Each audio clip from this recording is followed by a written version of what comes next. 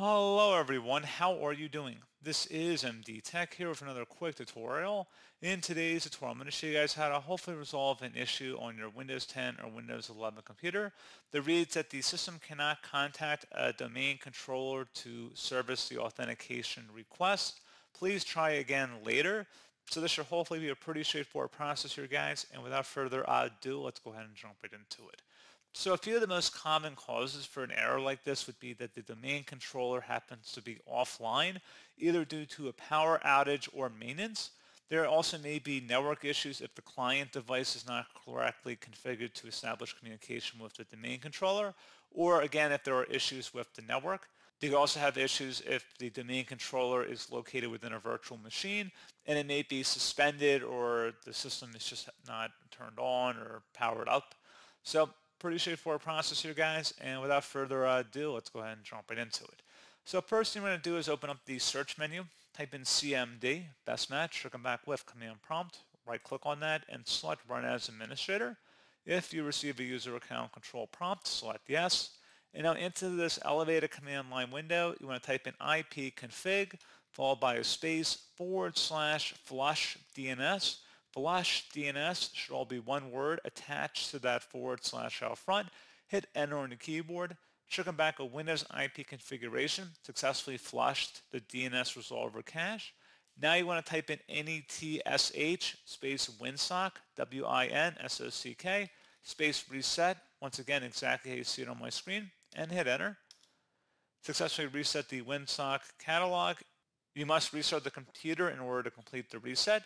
So at this point, go ahead and close out of here, and you want to restart your computer.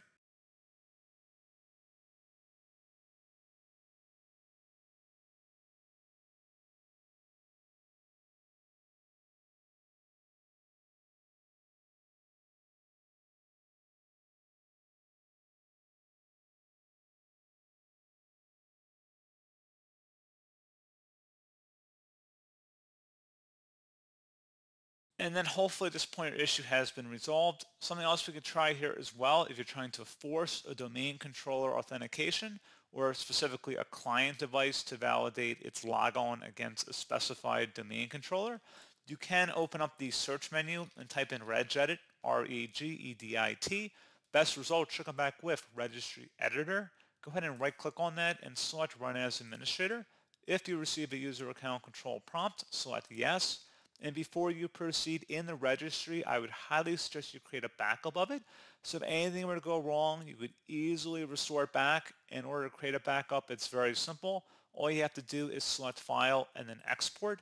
File name, I recommend naming it the date in which you're making the backup. Set export range to all, and then save it to a convenient and easily accessible location on your computer.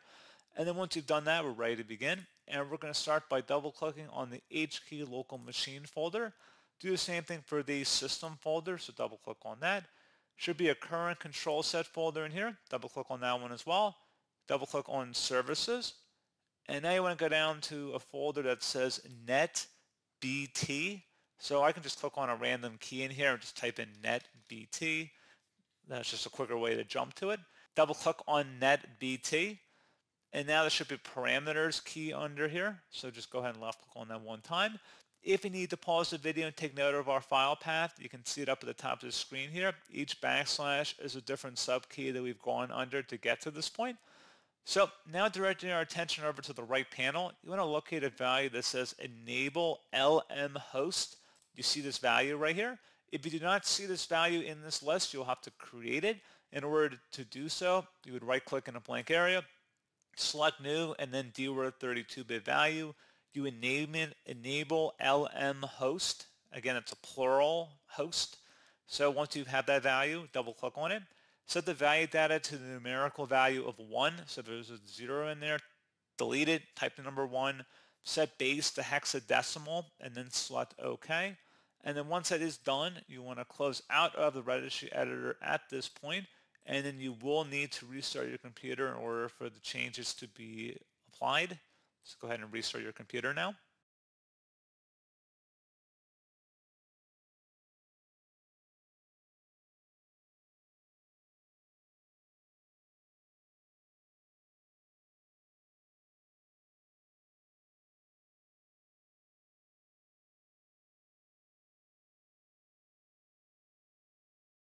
So there you go, guys. Hopefully that was a pretty straightforward process. And as always, thank you for watching. I do hope I was able to help you out, and I do look forward to catching you all in the next tutorial.